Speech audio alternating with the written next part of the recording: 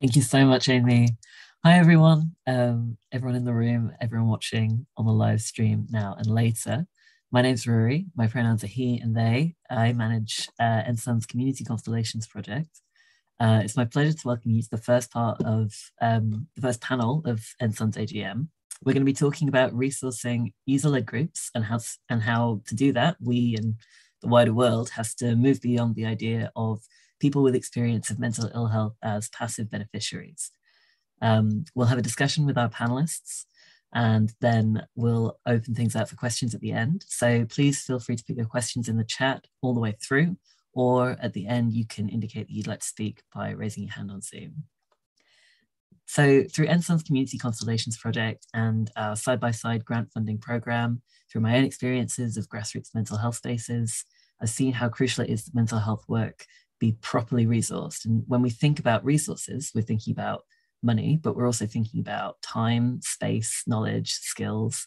Often user-led grassroots groups have an abundance of some of those resources. So we know a lot about our communities and what they need, for instance, but lack others like funding or time. So I'm really excited to hear from our panelists who have experience of navigating those challenges and have ideas how to kind of change and challenge the system so that grassroots user-led mental health work can thrive. I'm going to introduce all three of them in one go, and then I'll hand over to each of them individually to kind of give a bit more depth on them and their work and to talk about how they resource their work as well.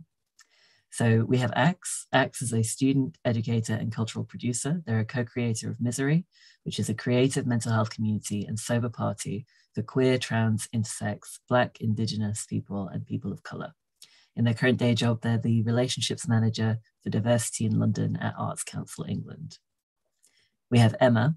Emma Ormerod is the co-founder, artistic director, and CEO of Underground Lights, a theatre company based in Coventry led by and for people with experience of mental health issues and or homelessness. Emma has worked as a researcher for NSUN and more recently as an NSUN associate. She's also supported the delivery of NSUN's COVID-19 grant fund in 2020 and the side-by-side -side fund earlier this year. And we have Leah Chikamba. Leah founded her organization, Angels of Hope for Women, in 2014 to support women from Black, Asian, and other minoritized and racialized backgrounds. They received one of NSUN's side-by-side grants earlier this year. In her day job, she manages children's centres in Manchester. So I'll hand over to our panelists to give a bit more background on themselves and talk about how they resource their grassroots user-led work. Axe, um, you have to go first? Yeah. Hi all, I'm Axe. Um, so I'm one of the co-producers, co-creators of Misery. Uh, how do I keep this quick? I could talk for ages. We do everything, and I guess this is kind of um, one of the things of being a user-led group, or you're not a service or a product that's out there. You're sort of creating space to survive. So you're kind of doing everything, and figuring out what we do has been part of the journey. Before the pandemic, we would throw sober raves um, we recognized that for queer people, the only space to really gather was nightclubs, um, which are surrounded by alcohol, drugs, sex, which can be great and empowering, no judgment, but also is the only option available. Um, and wanting to be able to embody and learn the lessons from these powerful community spaces. How can we do that and really have a mental health intervention, but also it'd be okay to be sad and go out. You don't have to be the life of the party to be able to be gay or queer and be part of a community.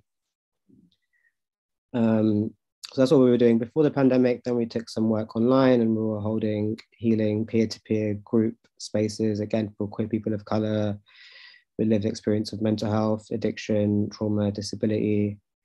Um, and now are, yeah, doing doing lots more um, and figuring out along the way how do we resource the work. Um, initially, it was bits of our own funds. Some of us were on benefits and we're using some government funding or government benefits to fund bits of our work. We recognized that events or nightlife, because some of us were artists or worked within nightlife, that was kind of a way to generate some income, but came across a big barrier all of a sudden with the model was that most nightlife relies on alcohol sales to work and we were trying to be sober and so actually all of these venues or spaces that wanted to work with us, they were like, yeah, but you can do it on a Tuesday night. Um, and we were like, no, we want it on a Friday or a Saturday night where people are out. Um, but no one wants to buy alcohol and then you're not going to hit your bar sales.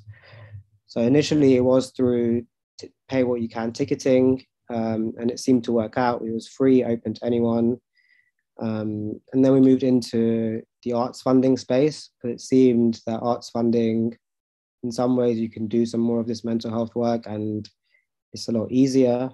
It can be called an art project um, and just don't call it therapy or don't call it mental health work and just call it art and people are getting together and painting and that could be funded. And then we held a crowdfunder we had we had done a bunch of our events, and then COVID happened, and we did a community crowdfunder, and that was really we weren't sure if we should or not, and we didn't want to extract money from our community that was already suffering. But having been able to build up a platform and build a community around us, and had some sort of social media following, had a successful crowdfunder, um, and now and have now applied for a few mutual aid grants and trust funds. Um, there was also some COVID emergency relief funds that were quite easy to access. Um, like I think the LGBT charity Metro, um, alongside Comic Relief, did some emergency like grassroots funds. So yeah, that's how we're sort of resourcing it money wise. Still trying to figure that out. Um, and then other stuff is time and it's skills and it's been tapping into people that we know. So we made it work because we were paying people, but it was over 50 pound to like run a session. But we knew there were people, they were our friends, they were within the community and they were able to provide space for free, their time for free, their resources, their materials, their paint, their equipment. Yeah, that's, that's kind of a little bit of our journey.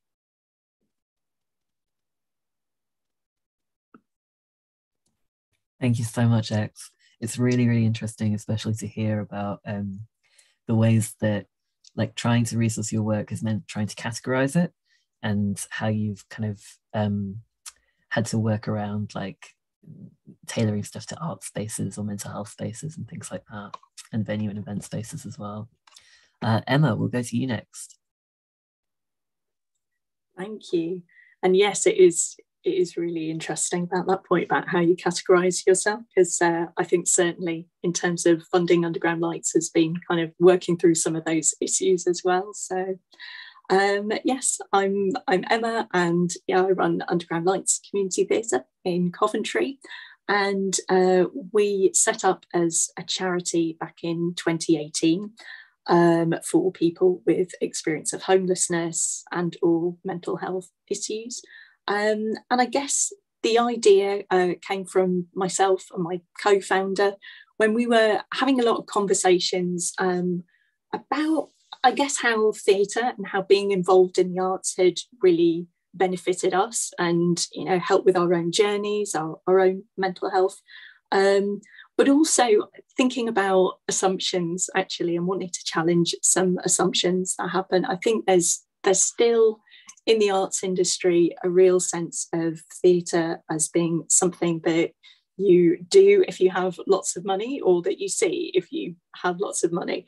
Um, and we're thinking we, we want to challenge that. We want to kind of allow people to explore uh, their own creative identities to move beyond um, other labels or diagnoses to kind of to, to be something else. And i think one of the things I've I've noticed on the journey is that often if we're doing a performance or a sharing, sometimes people will assume that we're going to be doing very direct awareness raising. So people are expecting to see things about homelessness or things about mental health, and often because we're we're a we're a member led space, and so we, we kind of come in and say, "Oh, what what do we want to work on over the next few weeks?" Um, often those things will be uh, full of joy or hope or positivity. And so sometimes people are surprised when they come along and see a pantomime, for example, rather than, you know, kind of a very serious awareness raising piece. So actually, sometimes just challenging those assumptions that we can actually we can you know do all kinds of arts based work. Um, I guess in terms of our journey and, and resourcing so far, um, the first year of activity, so that was 2019, I was um, working on a, a, voluntary basis and uh, trying to get things set up and also find core funding, which is a, a huge challenge. Um, I think, as, as many uh, user led organizations and groups will know. Um, and it was it was it was really tough. It was really challenging. Um, and at the end of that year, we did get some core funding from Tudor Trust uh, to pay me for three days a week, which was absolutely fantastic. And I think the importance of having flexible funders um, who uh, who you can talk to uh, about the challenges you're facing been I think really really important for us. Um, it meant that in 2020 we we went into into our second year of activity thinking great you know we can take a breath we can find some solid ground. But obviously covid meant that that we were in a very a very different place and so we were having to change our models of working like like everyone else and and running online. Um, this year um, has been again very interesting because coventry is currently city of culture so there have been an awful lot of um, opportunities in that, an awful lot of growth, um, but also rising rising demand. So within our organisation, which is tiny and running on a shoestring most of the time, we're having uh, an awful lot of um, projects, events, activities, uh, inquiries about our work, which is which is great, which is fantastic and exciting but also kind of being able to manage that growth um, and at the same time recognizing that our capacity and our resources are very limited um, has has been has been difficult as well. So it's all the time balancing balancing those things. Um, I guess one other point to make about about resourcing, I think the the value the values of other people who get it and who who really understand um, and those can be you know, people in, in the Underground Lights community, within the team, um, but also other organisations who, who understand, um, particularly larger organisations. So for us, the, the Belgrade Theatre in Coventry, where we're based at the moment, have been have been fantastic project partners, and we, we definitely wouldn't be where we are uh, if it wasn't for them. And that is largely because right at the start, um, before we became a charity, um, we essentially pitched the idea to uh, to the general manager at the at the Belgrade, um, and it was just before she was coming into into post, and she and she understood she understood the value of of a lived experience led organisation and group, and and appreciated as well the importance of having that as an as an independent organisation, but something that could potentially be, be hosted within the structures of the Belgrade. And so, because the theatre has a programme called the Springboard Company Programme, we were advised to apply for that, and we were successful. So, for the period of three years, and we're just coming to the end of three years at the moment, uh, we have mentoring and in-kind support from from the Belgrade. So that's been a really a really positive relationship, and it's you know it's helped us to kind of grow and build our capacity. So yeah, thank you. Thank you so much, Emma. Yeah, it's really um, really interesting to hear about like that the value of, of other people who get it and like the difference when that's the starting point and how that impacts kind of relationships going forwards. So, um, Leah, I'll I'll hand to you. Okay, thank you very much, Harry. Hi, so my name is Leah. I'm the CEO for Angels of Hope for Women Charity. So we started in 2014 just as a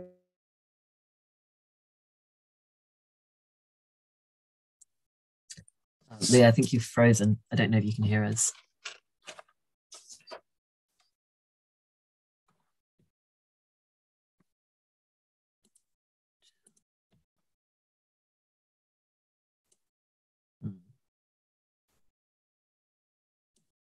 they're frozen for other folks as well. Yeah, she has. All right. Give her another few seconds and then I'll try and, and reach her outside of Thanks, this. Amy.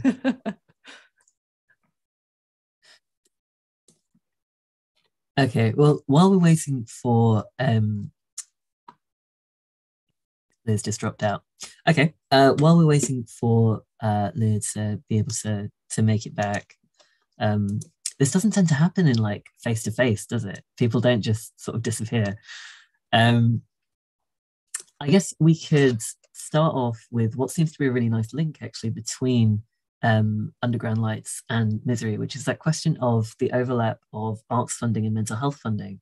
I wonder if either of you could speak more about that and and how you've um, maybe how the assumptions are different in arts funding and in mental health funding and how you found that.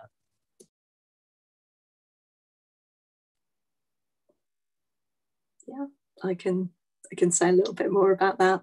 Um, I think certainly in terms of the uh, the larger funding bodies, so for example the the Arts Council um, and say the the National Lottery. Um, I know that in terms of conversations or in terms of bids, you really need to think quite carefully about how you position yourself as an organisation. Um, so we uh, we're currently putting in a bid to the Arts Council, and we have put in uh, a bid before to to the lottery. So we've had an awards for all grant from them. Uh, we reached the second stage of the Reaching Communities Fund, but but we weren't successful with with that funding bid. Um, but in terms of lottery funding, certainly we, we needed to think about how to position ourselves almost uh, thinking about the mental health benefits of the arts. So, so it's not an arts project. Otherwise, the, the lottery will be thinking, well, you know, maybe that's something that the Arts Council should be should be funding. So really, really thinking about you know the, the beneficiary journey, all about the well-being aspects. Um, I'm really kind of um, focusing on those things um, with the Arts Council bid that we're currently preparing, thinking um, a lot more about things like um, public engagement, the audience. You know, what's what's what what's the work that we want to do? What are, what are the creative pieces that we want to perform in order to engage with our with our audiences and with those with those communities? So, although the the well-being or the, the mental health aspects are, are, within that there's there's more of a focus around what's what's the what's the creative work going to look like and how we are we going to engage with communities around that. So i think tailoring your organization or your project to the to the needs of funders which i think happens anyway um, is yeah very very present. But i don't know what your thoughts are on that. Completely agree and i could talk about this hours. I don't want to get all philosophical and theorize, but um, I mean, it's the biggest problem with funding is that projects are then tailoring themselves to a funder and just not being able to just be, and then funders recognizing their value.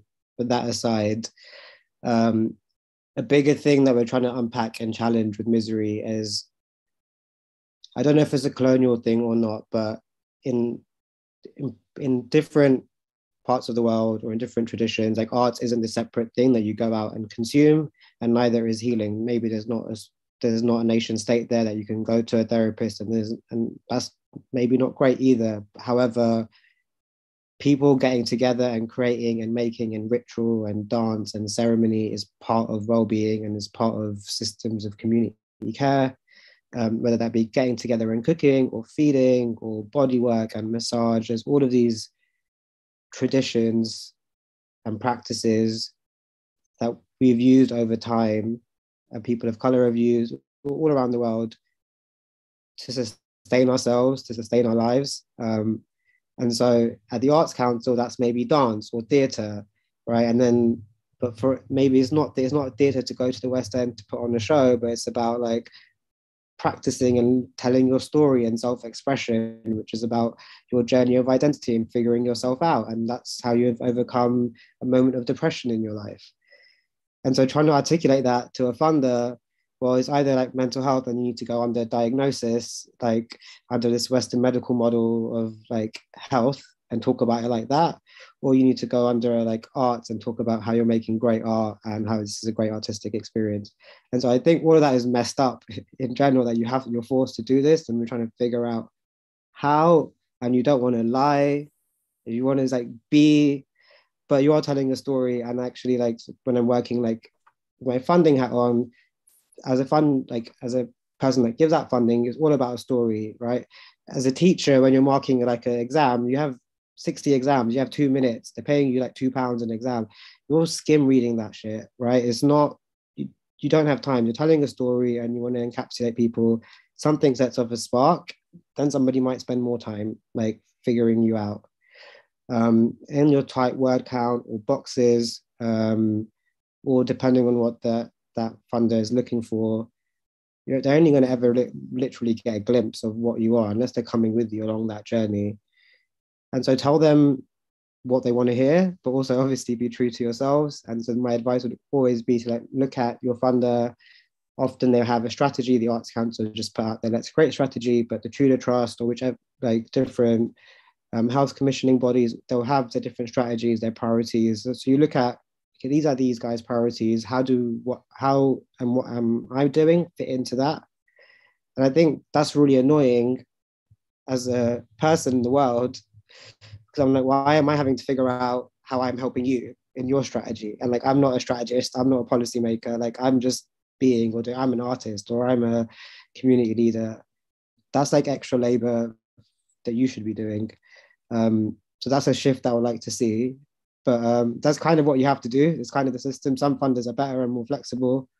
Um, but for the bigger institutions, like awards for all, okay, what is the National Lottery's priorities for this year? What's Comic Relief's priorities for this year? How am I, how can I tell my story in a way that meets that answer? Thank yeah. you. I think that really resonates also with um, Ray's keynote about kind of narratives and the pressure that's put on people with lived experience of, of mental ill health, but also who experience other kinds of oppression to to constantly be um, narrativizing and presenting like a not necessarily a positive narrative, but certainly a neat narrative. Uh, we have Leah back. So uh, Leah, do you want to pick up where you uh, where you were interrupted and explain the work that you do with Angels of Hope for Women? Yes, sorry about that internet issues. yeah, so um, as I was saying before, it's a, an organization that supports women from the BEM community. Um, and some of those also experience some mental health issues as well. But because of the stigma that's behind mental health, this is something that they normally wouldn't talk about. So in terms of uh, resourcing, we create that space for these women to come together and talk about issues that affects them, uh, cultural issues. That means, you know, they are not able to go out there and get any support regards their um, uh, mental health and well-being. Uh, we do have quite a lot of volunteers who help us quite a lot. They do some peer-to-peer support, one-on-one support. We also have trustees. Obviously, they all give up their time to uh, support and run some of these sessions for us. And yes, we've got some, um, in the past, we have got some funding from uh, different organizations. Recently, we got one from NSUN, which helped us to pay six months for a venue where these women will be meeting every month for the next six months. We don't have to think about the funding. And that's creating that space, safe space for these women to come together, talk about issues that concern them and how they can then support each other.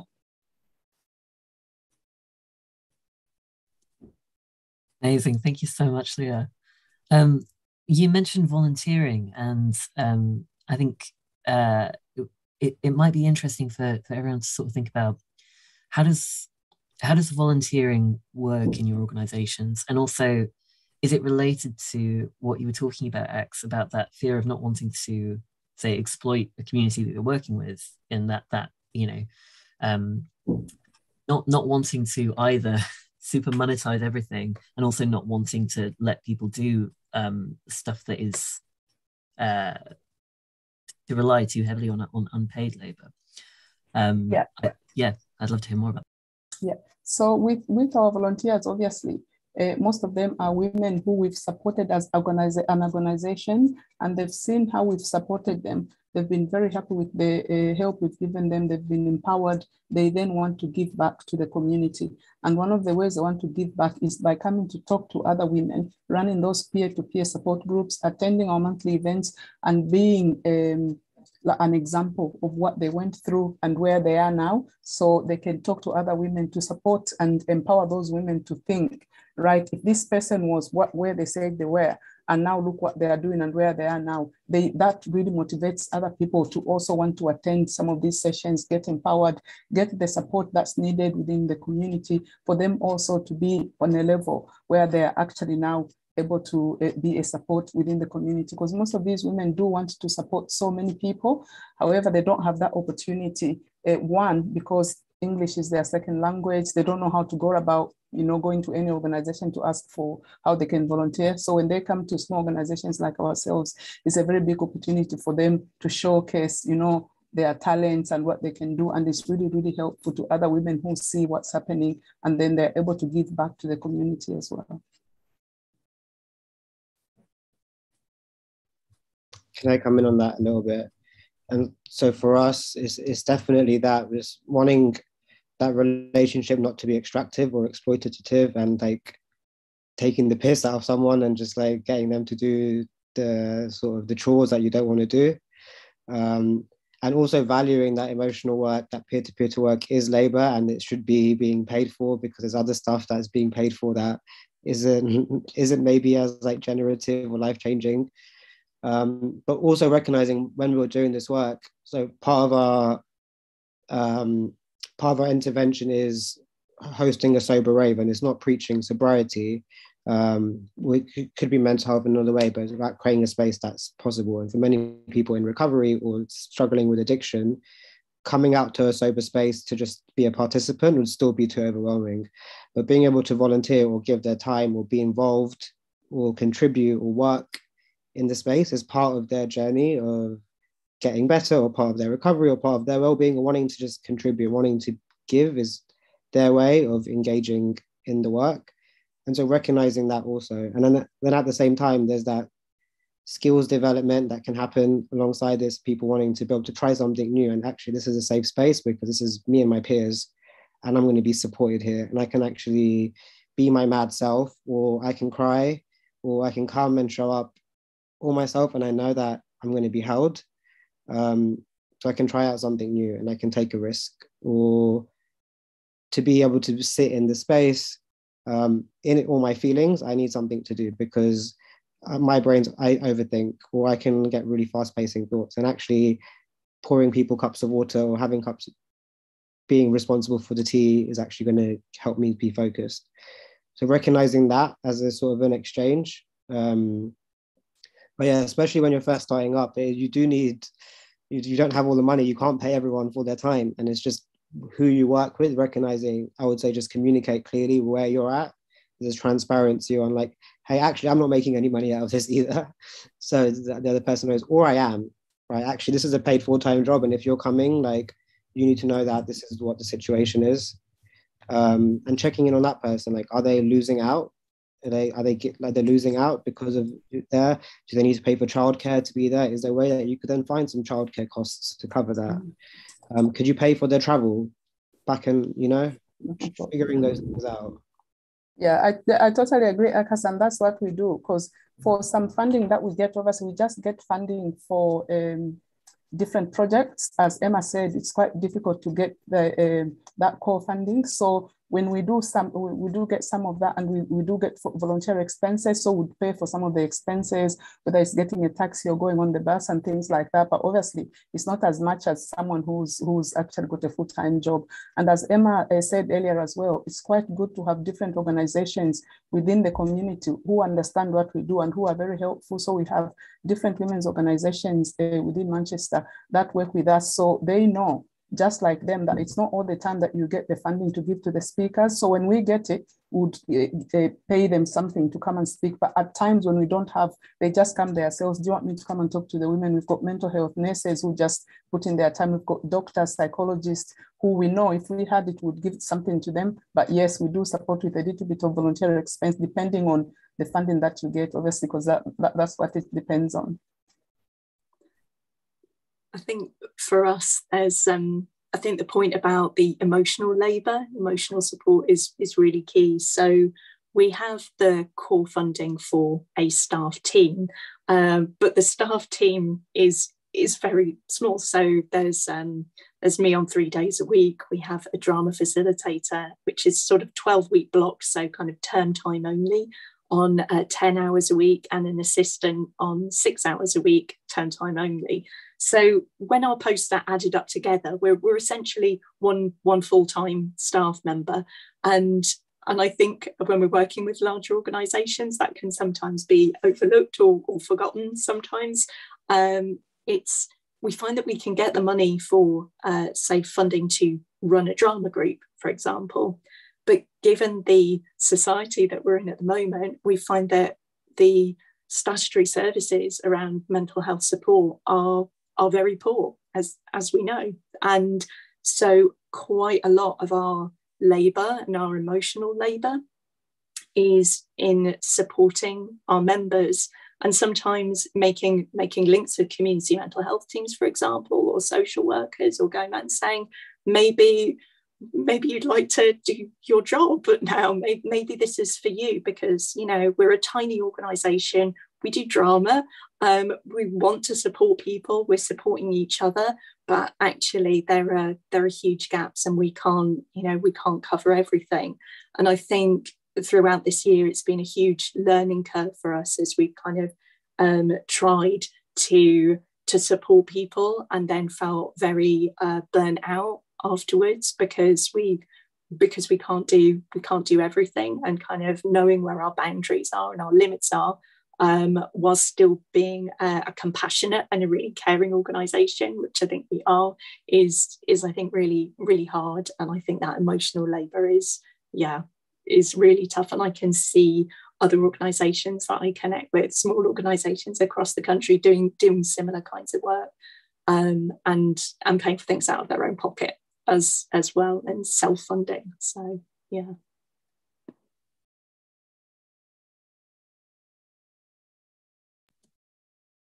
Fema, I wondered if anyone else wanted to come in on that question of like the current context, I guess, of austerity and of, of stretched services and how that impacts your work? Um, the, the thing like we're doing this work out of survival and need, but just like piecing all of this together, reminded me, my friend once told me, you're not the head of the NHS. And I, and I feel like it just, it gave me that little, t- took a bit of weight off my shoulder. Like I'm doing this because I need to survive. And also my friends are out here dying and don't want to be dramatic, but it's also true and so we're doing this because it's not out there but that, that piece around like doing that work with community mental health teams or getting people like helping them get benefits or signposting them to other free therapy providers providers and we will recognize that we're not a crisis mental health service we can't offer that we don't have the skills to be able to offer that but we're people with lived experience and we have certain skills and talents but we can't like save your life but it's also not our job to save your life and recognizing that but then also who like whose job is it? And then thinking about like solidarity politics and no one else is going to save you. It's all a lot. The like specific challenge that we found is with those referral pathways. So I would suggest to all of you as a user-led group, like find those organizations, charities, systems like NSUN, like a local community trust, like a lo- local arts organization, like the theatre down the road that does have a project for people that are like suffering with loneliness, whatever it is. Um, because our community is queer and trans people, there's not many services already tailored for queer and trans people, but then particularly people of color. So there is some LGBT organizations, but they're not culturally sensitive. And there are some BAME-led organizations, but they don't necessarily have the queer and trans specific um, context in their practice. And so it's been really difficult to find those. That's why we set up as a group because it, didn't exist. And that's, I imagine as many user-led groups, that's also why they set up because the services aren't there in their local context meeting that need. Um, but there are bigger organizations that, and there are some good people or some people like you in these organizations that care and want to do the work and there's that networking and that's also a full-time job going out and meeting these people especially if you want to stay in bed all day or you're struggling with paying the bills um, but yeah networking meeting people and asking for help um, asking to be made introductions to people. And then, yeah, that final thing about the austerity, like we're just seeing it more and more that the stories that we hear through our friends or people that are coming and you're just like, this is terrible. Like the, the local authority should be responsible for this, or somebody should be doing something. Or, and it's not like the doctors don't care; they, they, they really do care, and it's not like the nurses don't care. It's just that completely overstretched, and the wait times are ridiculous for help, um, and people even showing up in emergency settings, like asking for help, and then just yeah, being taken and then not being taken into Inward and just sent home, and like go to your local talking heads thing as a 12 month waiting list and then maybe you'll get that you know and that's the sort of current yeah situation out there. Yeah so uh, uh, just to add on uh, what um, Akasa said for us what we find challenging is these women have got multiple disadvantages so some of them they don't have any education they might have gone through um, abusive relationships and they've run away from those relationships. Some of them might still be in those relationships. So for such a person, they haven't they, they haven't got the, the, the, the courage, they've not been empowered to go to a mental health service. They, they, they just can't can't do it. So they need that support of someone doing it with them. So what we for us, I think how, what we feel is having these mental health um, organizations come to our events to talk to these women so that the women are able to understand what goes on when you're referred. As I said, because of the stigma in the community, they wouldn't want to be seen to go and access a mental health service, so to say. But coming to small events like ourselves, we invite these big organizations to come and talk to, to, to these women about mental health and what it entails. And I think for us, what works more is getting someone either a psychologist who's from the same cultural background who understands what they are going through and then explaining to them what they, you know, what they can get when they go for support. And for some of them, actually, what they need is just to come out of the house and talk to each other about issues, and then they can look at coping mechanisms. And from that, we personally feel that it, it stops most of them escalating and going any further because they've spoken about things, they've got some uh, peer support. If they feel in a certain way, they know they can phone someone and talk to. But yes, obviously, for those people who really need to be referred, I think it's about these mental health services, whether it's the NHS coming in to talk to these women where they are and not expecting everyone to go to them because for some people it's very difficult to take that step and go to them.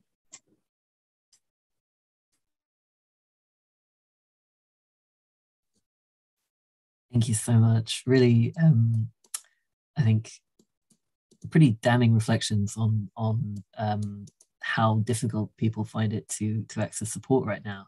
And I think really important to highlight when we're talking about resourcing user-led groups that we're not saying, oh well, user-led groups should be able to like fix everything, and uh, you should be able to like I don't know save the world in the next twenty minutes. Um, I think in just to sort of like finish up before we open up for some questions, what do you think is the the number one change you'd like to see in how funders can more proactively fund user-led work that puts kind of the people affected by uh, mental ill health and by other forms of, of, societal oppression and marginalization right at the heart of, of kind of decision making and support and and the the stuff that's being done on the grassroots? Um, just a just a small question to finish off with. What's like the number Big one question? Uh, do you want to go first, Emma? Thank you. Okay, thanks. Um, gosh, yeah, it's that's a huge question, isn't it? Really, I think I am.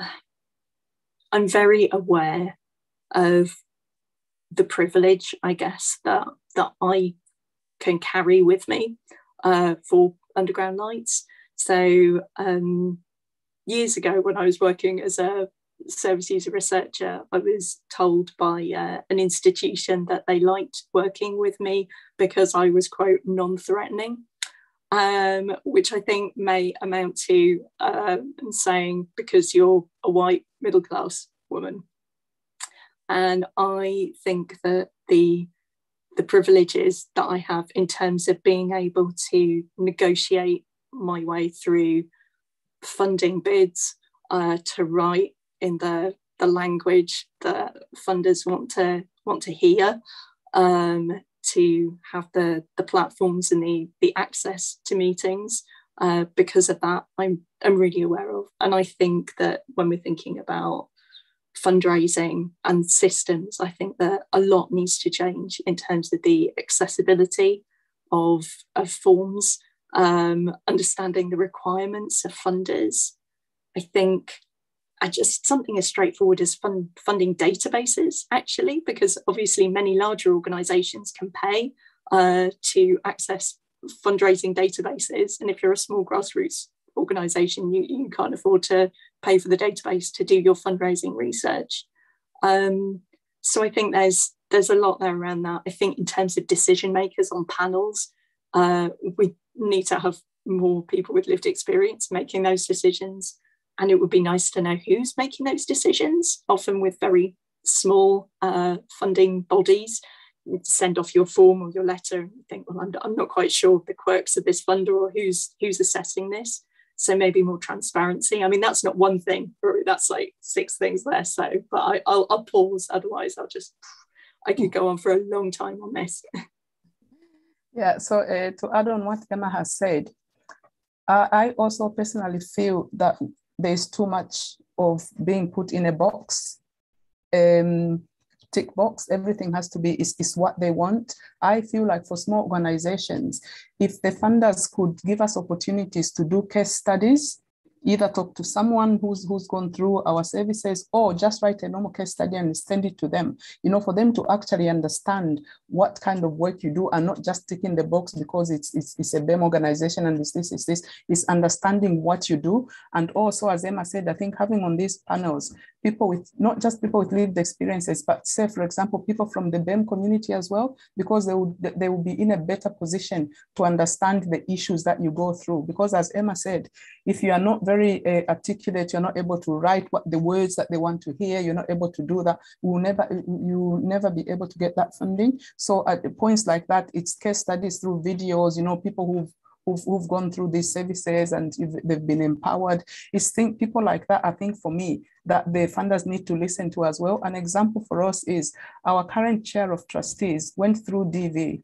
Uh, we supported her throughout and now with her uh, kids, She's got a, a, house on her own. She's now working on her own. And uh, she, she, also became our chair of trustees. So you can see how empowered she is. And she's now wanting to do the same to other women. And as a chair of trustees, she's there at the forefront talking to the women what she's gone through, where she's at now. She's now got a very good job um, that, you know, that she didn't uh, know she would get as soon as, because this all happened just within the last, uh, during the COVID, the pandemic, during the last year. So having someone like that talking to funders honestly, it makes a very, very big difference. Um, yeah.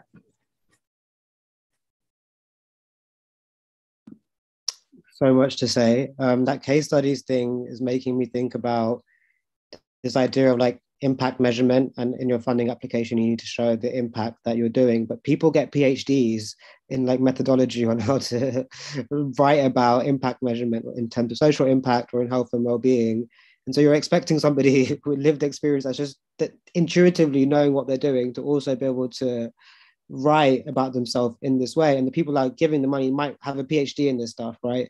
And if you pay a full-time fundraiser 40K a year, they can also write in that way. But people that are out here doing the work don't know how to do that. So yeah, do a case study, make a video, or just come down to the project and meet the pe- people that are going on and just see the work for yourself. And I think operationally, obviously, tr- I work for a funder, so I know there's just time of staff is not there, and the need is like so great. But I think systems can be changed that you don't have to write strategy and policy to be able to just show like the importance of your work. And if funders do really they've made all these big commitments to being more inclusive and accessible, then like actually just go out and do it. Like it's not that difficult.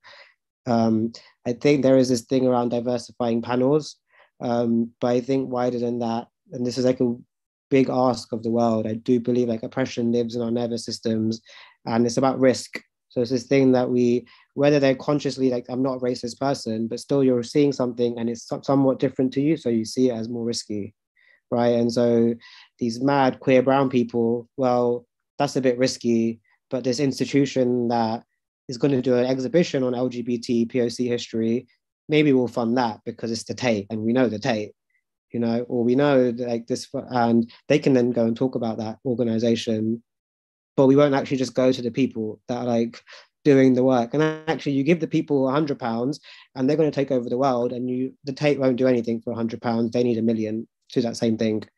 And actually for the value for money that you could actually you could happen i'm sure like with both of your groups 50 pounds is going to stretch so far and you need to give it to one of these bigger institutions it's nothing's going to happen. You know that's one hour of your office time really for that for that sort of money. Um so yeah funders and people really unpacking risk and like where does that sit? And it's like this fear that of like of the other um, and let's start doing some embodied work and un- unpacking where that comes from and then like take those risks because it's not actually a risk it's like innovation in other sectors would be seen as exciting but over here we're seen as like risky or the other um, and then yeah the way that yeah we can make forms more accessible la la la la la but it's why are we having to write about ourselves and prove impact in this way when that's actually not our job like we're doing your job for you. This was your job was to give out these funds to achieve this. Well, we're achieving it.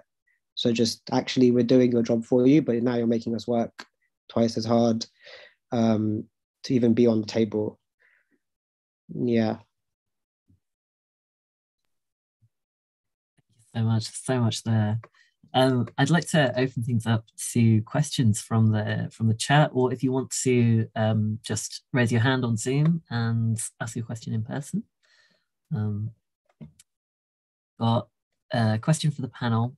Um, what advice do you have for evidencing your work or impact of your work whilst actually doing the work? And how can we make that easier with limited resources? Does anyone want to speak to that?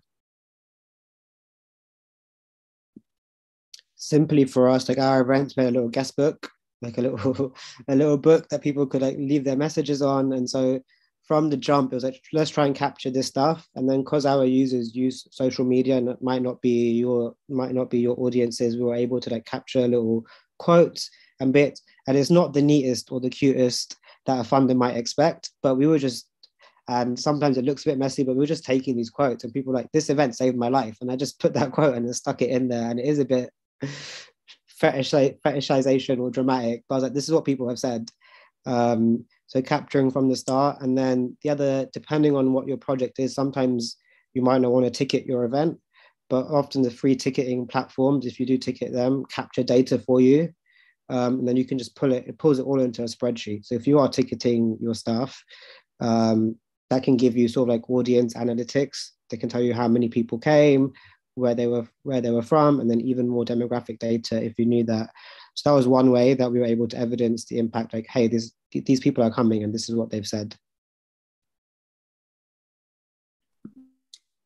Yeah, for us, we did. Oh, sorry, me if I cut in. Done it again. You go first this time. You go first. okay, no problem. So for us, mainly we do uh, case studies. So people will come to us, and especially for uh, the people who can't uh, write themselves, so they'll talk to us and then we'll write down the case studies. Those who can do videos, we do uh, videos as well, which is right there and then maybe after an event or after, after a session, we write it down. Uh, we do some um, feedback forms as well uh, at the end of the project. So it's just where they were at, where they are now, uh, we know what difference is made to them. So it's just having those, uh, um, it's mainly uh, three questions, where they were, what they've accessed, and where they are now as a result of accessing our service, and we just do it that way.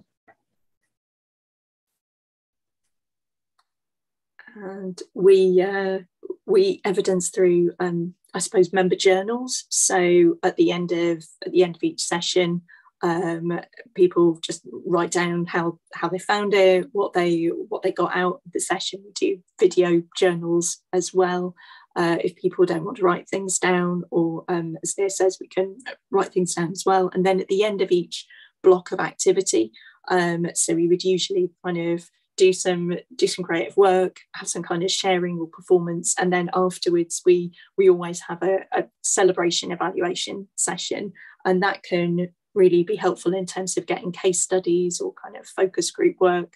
Sometimes we'll, we'll audio record those uh, those sessions as well, uh, so we can so we can kind of draw out kind of what people are saying. And I think for us as well, we find that there's there's a lot of love for for the organisation and for each other. So so it feels quite quite easy to do and that people are always I know saying yeah I really enjoyed it this is what was good yes you can you know you can you can share that further so uh, yeah so that helps us to kind of bring case studies together it sounds like a really clear link between those experiences is the importance of making that like impact measurement something that people actually want to do and making it useful for the organization but maybe more importantly the people who are like uh, you know maybe there's not that much of a difference between the people who come to groups and, and events and the organization but making it something that basically members are really actively engaged in rather than that sort of um, uh, thing where people feel like they have to fill out a form to kind of continue accessing services and things like that. Um, we had one more question, which was about even when people access mental health services, they often receive top-down pathologizing models. So uh, address the power dynamics of medicine and healthcare. Um, how do you get health services to address their reductive perspective of seeing normal responses to oppression, discrimination, violence, neglect, and trauma as illnesses?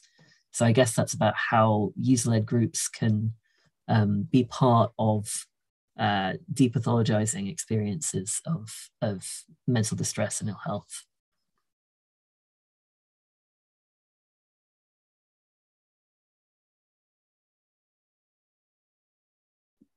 It's such a big question. Um, I guess like the the dream solution is change who's at the top. You said like user-led groups can't change the world in 20 minutes, but actually I do believe we can if you gave believe in people power and if we gave people the power, then these things would change. There's been models like models of where there's not been this sort of doctor client relationship that have worked around the world in different in different communities and and even in the West. Um, yeah, will change is at the top.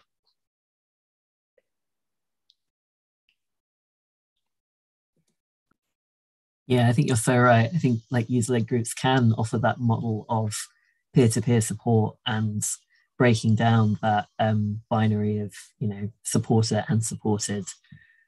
Um, we are coming up to the end of our time. I'll just open it out to our panelists. Is there anything else you'd like to say or kind of gather from what we've spoken about?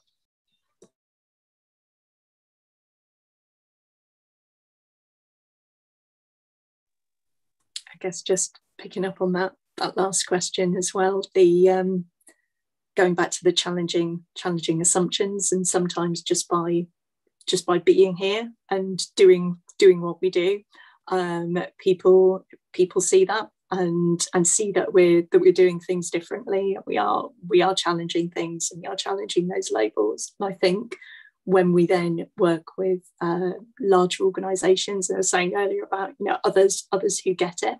Um, so for us uh, an organization like uh, arts and homelessness international um, which are very very committed to uh, thinking about you know people lived experience what does that look like uh, the importance of recognizing people as artists and paying people for their work and and those principles and those values kind of underpinning that. I think that when we work with with those large organizations then we then we start to see things things shift a bit more. Uh, but i think it's yeah it's there's a lot of work still to be done in terms of different sectors and i see some things shifting slowly and, and and moving a bit and i see other things that are still quite quite entrenched. So yeah still still a way to go. Yes, uh, I agree with Emma. There's still a long way to go, but I think for for for me, it would be good to have opportunities like this. What NSUN has done, you know, or smaller organization bringing people together in a forum like this where they talk about their their issues uh, and the funders can have a better understanding of what these people actually go through. Because apart from that i don't think uh, most of the things will change that much. It's all tick box tick box because some of them don't even have a better understanding of you know, where you started from, the whole reason you started the organization, you know, why you are doing what you're doing. So I think having platforms like this for small organizations would be very, very helpful. And I'm very grateful to NSUN because we've been having these uh, peer support groups for the people who got the uh, side-by-side -side fund, and it has helped us a lot uh, all of us who go on, on that forum is, is helped us. We've even made connections outside of this where we've gone at the back and started to support each other depending on what, what, what we are good and what we're not good at. So I think it's, it's it, that, that's what funders need to be doing is things like this. so I have three thoughts that leave you if you're trying to figure out how to resource your group. Um, first one would be to ask for help. There's somebody out there that is paid in a full-time job to probably deliver the service that you're already delivering. And finding that person might take you three years. Um, finding that organization out there might take you a long time, but ask for help. Um, and there'll be people really willing um, to offer their knowledge, their time, their resources, that free space. And it's difficult and it's a competitive environment and the need is so great. Um, but ask. Um, and then part two is be annoying. If you're wanting to get funding from the Arts Council, you could probably find my email online and I work there and I can, might be able to help you somewhat. Or you could even find Akiko and Rory's email online somewhere and say, hey, Rory, help me. I need your help be annoying. Now, as a funder, we say, no, email our customer services email address. However, you get your face in there, you turn up to the events, well, Kiko's just put the email right there, right? Those people will see your email and you email them 10 times and they might end up coming to your event and seeing your work because you've emailed them 10 times. You see that the Royal Opera House, they they have the number to the Arts Council CEOs on speed dial. They can call them and say, hey, come and see our work. That happens. And then the Royal Opera House continues to get funding right? So it's be annoying and people might find you a little bit annoying at first, but if you know what you're doing is great and they really need to come and see the work or they really need to get to know you, those 10 emails will mean that they'll respond, someone will respond, be annoying. Um, and then the last one is slow down.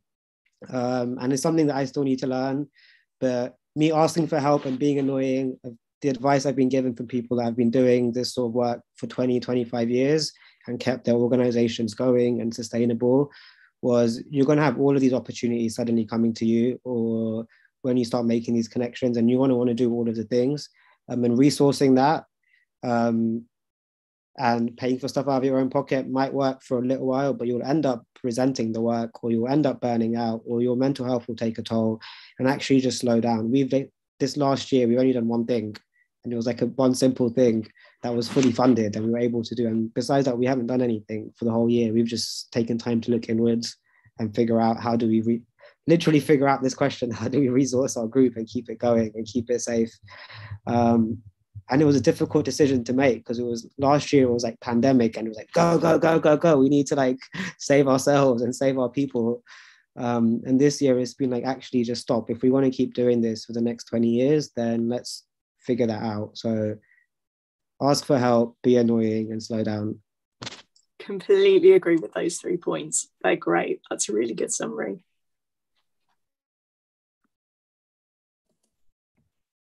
It's amazing. Thank you all so much. Uh, thank you to the panelists, the interpreters, and everyone who's asked questions and been listening. Um, yeah, looking forward to seeing you at some of the other uh, AGM events. Take care, everyone.